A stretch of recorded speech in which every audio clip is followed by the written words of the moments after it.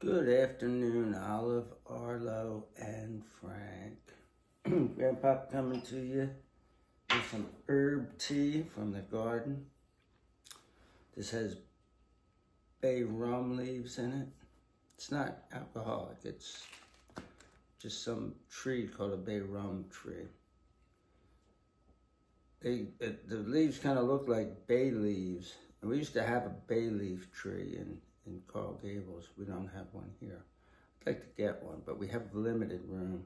But this also has some stevia plant in it. It has um,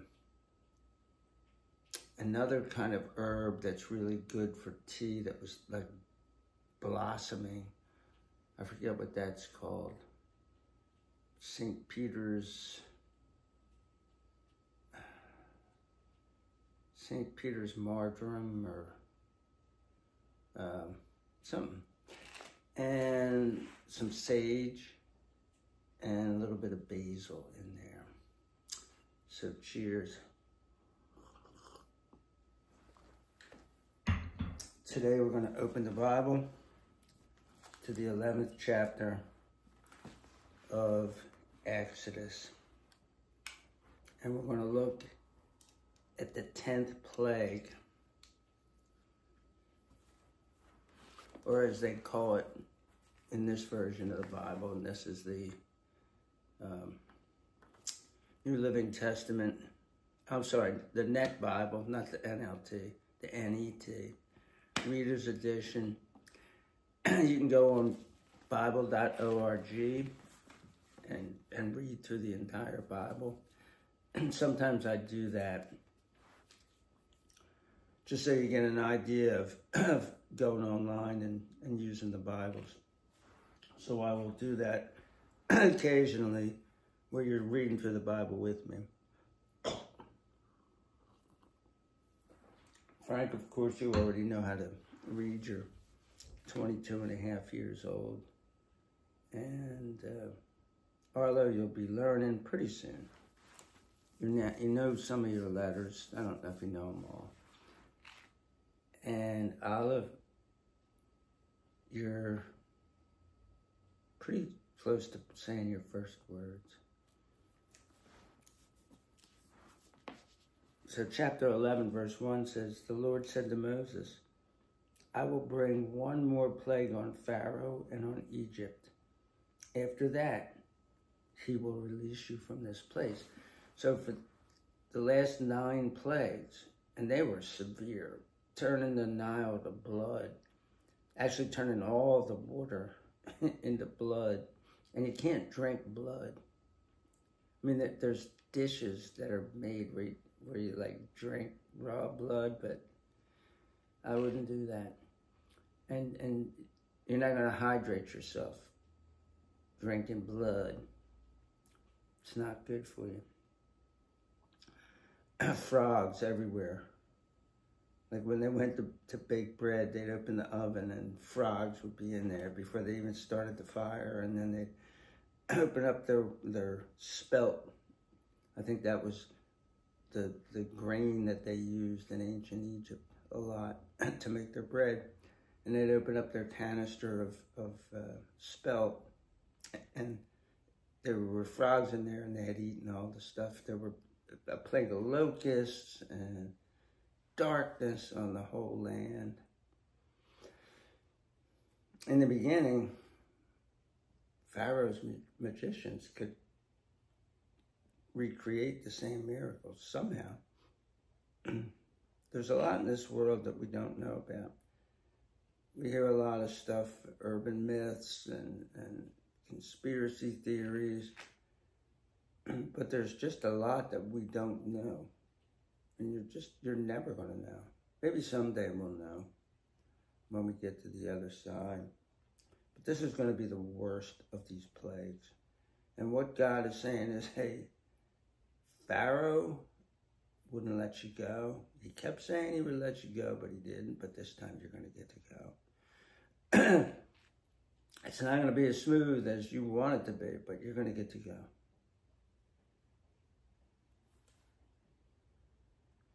When he releases you, he will drive you out completely from this place. Instruct the people that each man and each woman is to request from his or her neighbor items of silver and gold. So Pharaoh didn't like the Jewish people, but apparently the Egyptians did because they got to say like, hey, give us some stuff. And, and they, they gave it to them. And we're going to see that this stuff is used for good things and for bad things when they get out into the wilderness and wander for 40 years. Spoiler alert. They don't go right to the promised land. Now the Lord granted the people favor with the Egyptians.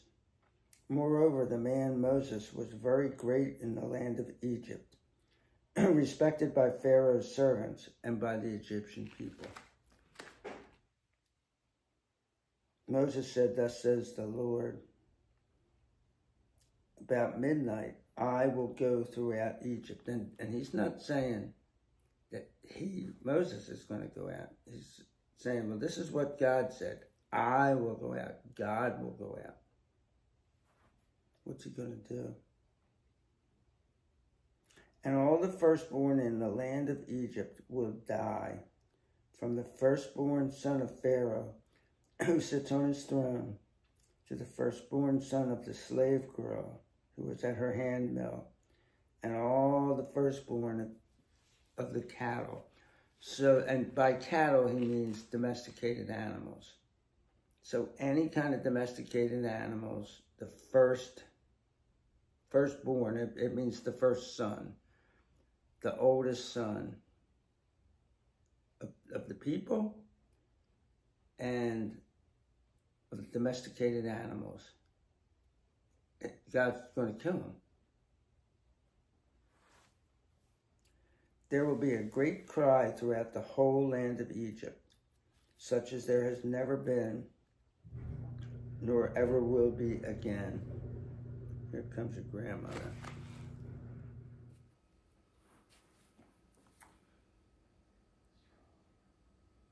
But against any of the Israel, Israelites, not even a dog will bark against either people or animals, so that you may know that the Lord distinguishes between Egypt and Israel. Forgot to put this back on, didn't I?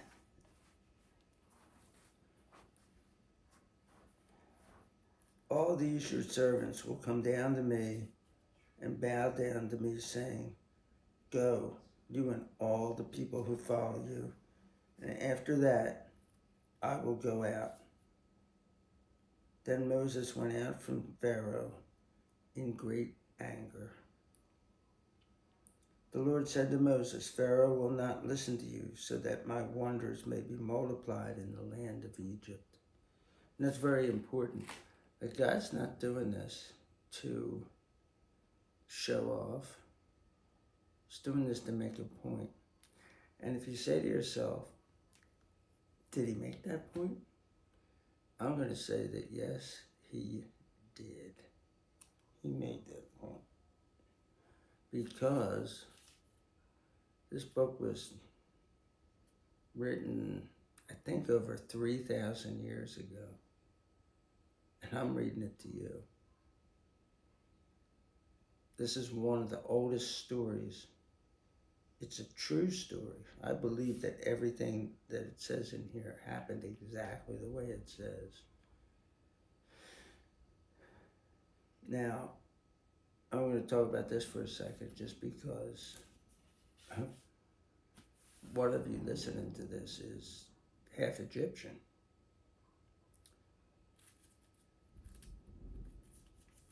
If you believe in God, he doesn't make a difference between you. When he says he's making a, a distinction between the Egyptians and the Jews, the, the children of Israel, he's not saying that absolutely you're damned if you're an Egyptian. Because we're going to see that millions of people are getting ready to leave Egypt. And it's called the children of Israel and a mixed multitude.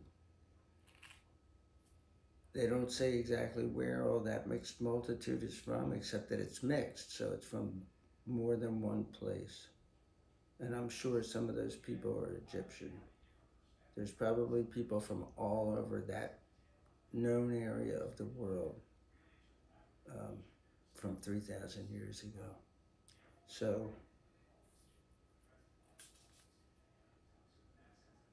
so Moses and Aaron did all these wonders before Pharaoh, but the Lord hardened Pharaoh's heart. He did not release the Israelites from his land. But that's all going to change because it's Passover time. And we'll, we'll get into the Passover ceremony, which for the last 3,000 years has been held every year. Every year. Until then, peace out.